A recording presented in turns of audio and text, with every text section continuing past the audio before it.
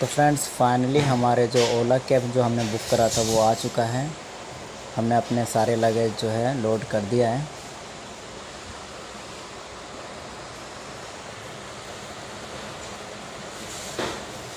अब चलते हैं इस एक्साइटमेंट जर्नी की ओर।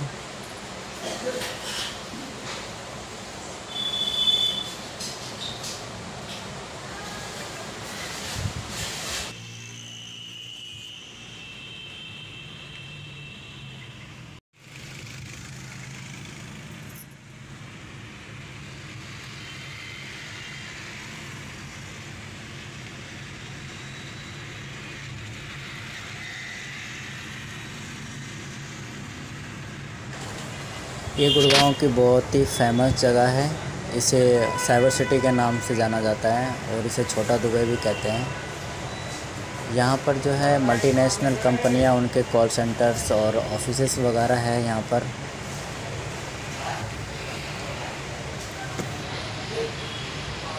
ये सारे जो है डेलफ के बिल्डिंग्स हैं।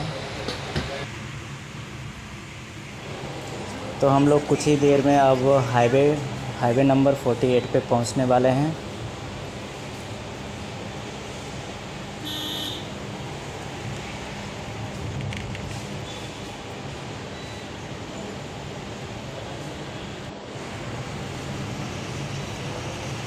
तो फाइनली हम लोग जो है दिल्ली हरियाणा के बॉर्डर पे पहुँच गए हैं। आप देख सकते हैं ये टोल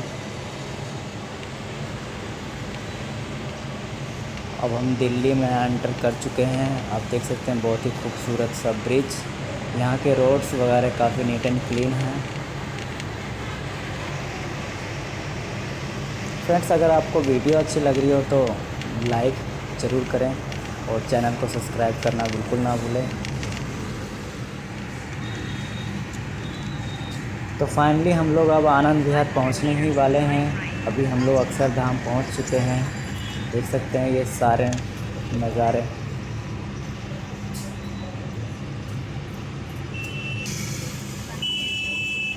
फ्रेंड्स, यहाँ का व्यू देखो, काफ़ी काफ़ी सुंदर और देखने लायक है। ऊपर मेट्रो, नीचे रोड्स।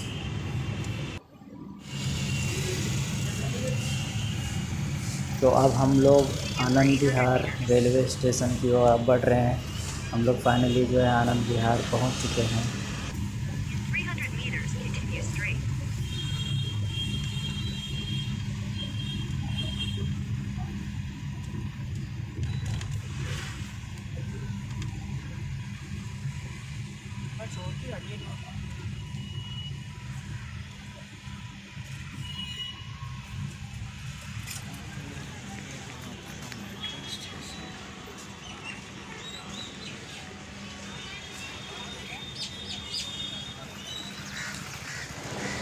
ये हमारे इंडियन फ्लैग लहराता हुआ कितना खूबसूरत है।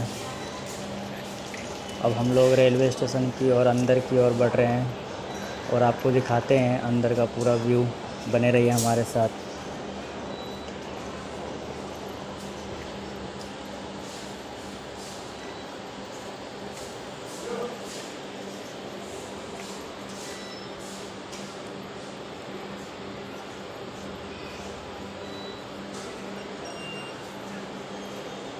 तो फ्रेंड्स हम लोग अंदर आ चुके हैं। पहले मैं आपको ट्रेन का जो शेड्यूल जो है, जहाँ पर दिखाया जाता है, पहले मैं आपको बोर्ड दिखा देता हूँ। यहाँ पे सभी ट्रेनों का जो टाइम टेबल जिसका भी टाइम टेबल जो अपडेट होता है, वो यहाँ पे लिख दिया जाता है। आप यहाँ पर देख सकते हैं। ये है वेटिंग हॉल यहाँ पर आप देख सकते हैं, बहुत ही अच्छी फैसिलिटी दिया हुआ है यहाँ पर।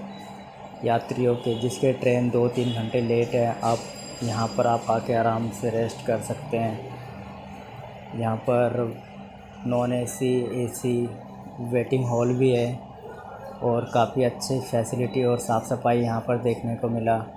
कुछ लोग यहाँ रेस्ट कर रहे हैं, कुछ लोग नीचे भी रेस्ट कर रहे हैं। आप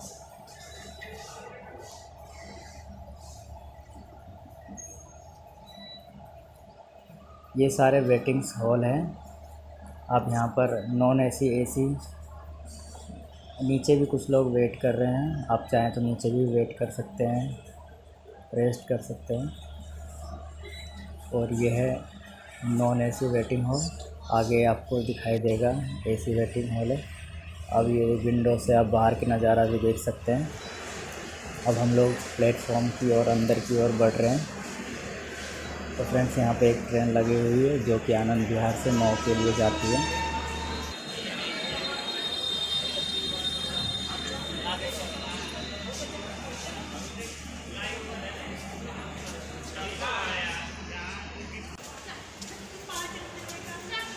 तो फ्रेंड्स आप लोगों को मैं दिखा देता हूँ टिकट काउंटर जहाँ से टिकट आप ले सकते हैं। तो फ्रेंड्स ये है टिकट काउंटर आपको नीचे ही मिल जाएगा टिकट काउंटर यहाँ से आप प्लेटफॉर्म टिकट जनरल टिकट और कोई सा भी टिकट आप यहाँ से ले सकते हैं.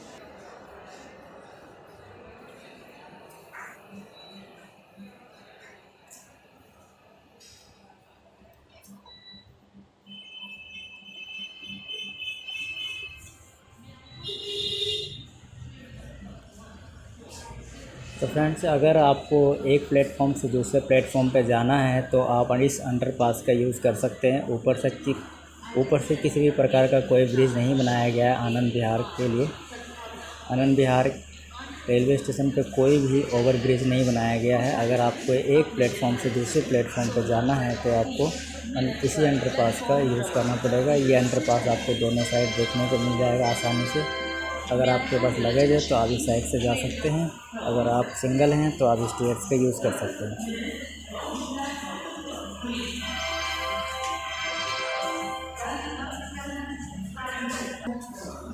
तो फाइनली हम लोग जो है इस प्लेटफॉर्म पर पहुँच चुके हैं।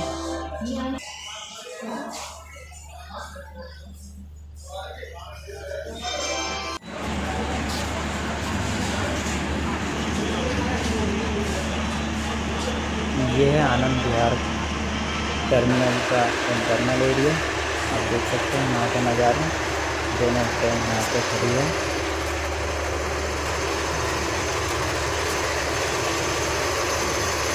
जो आप राइट साइड वाले ट्रेन देख पा रहे हैं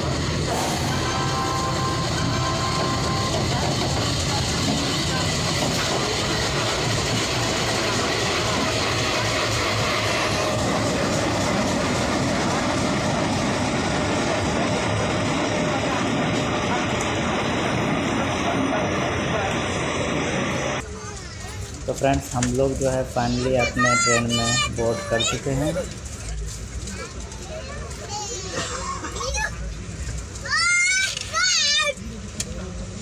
हमारी जो ट्रेन है स्टेशन से निकल चुकी है। तो ये है ट्रेन का इंटरनल और इसी का कोच हम आपको दिखाते हैं।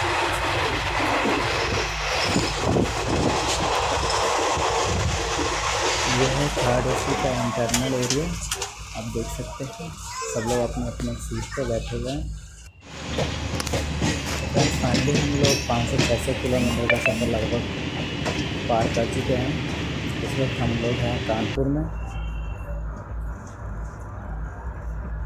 फ्रेंड्स सुबह सुबह हम लोग इस वक्त दानापुर पहुँच चुके हैं। दानापुर रेलवे स्टेशन क्रॉस करता हुआ।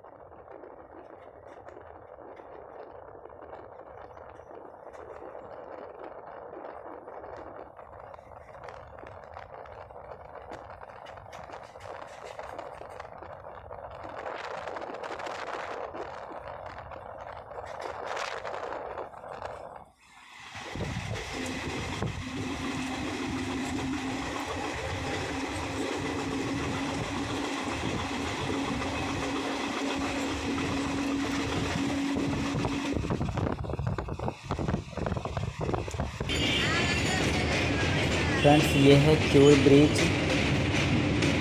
आप देख सकते हैं, ये जो ब्रिज है, जिसके ऊपर से ट्रेन जा, गुजर रही है, ये नया ब्रिज बनाया गया है।